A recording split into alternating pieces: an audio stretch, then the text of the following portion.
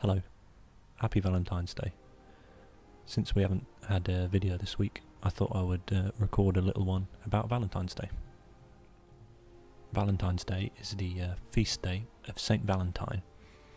Now, over the years, there have been quite a few different Valentines that have been made into saints, but this one that's sort of more commonly known and celebrated on the 14th of February is the patron saint of beekeeping, married couples, obviously, and epilepsy.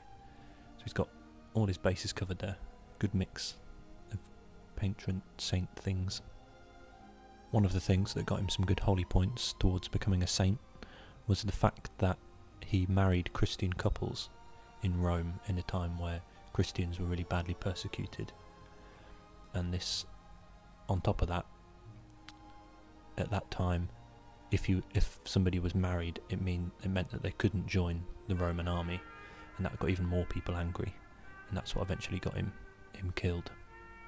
But I think getting married in those times sounds like a pretty good deal because you get to be with your partner and also not die in war. It's a win-win, I think. Amongst the many other Valentines that have become saints, there's also a female saint, Saint Valentina. Um, she was martyred on 308 AD in July sometime. I can't remember the exact date, but look it up. I'm not going to do all the work for you. I hope you learned a little bit there about Valentine's Day. And I hope you also get to spend some time or talk to somebody that you care about today, whether you're in a relationship or not. I hope you have a really nice day.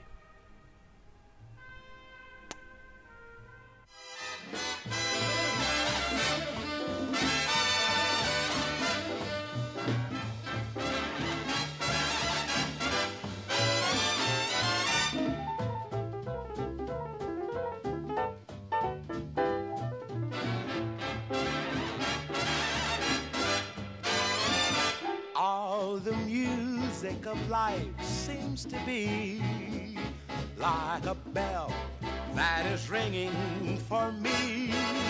And from the way that I feel when that bell starts to peal, I would swear I was falling, swear I was falling.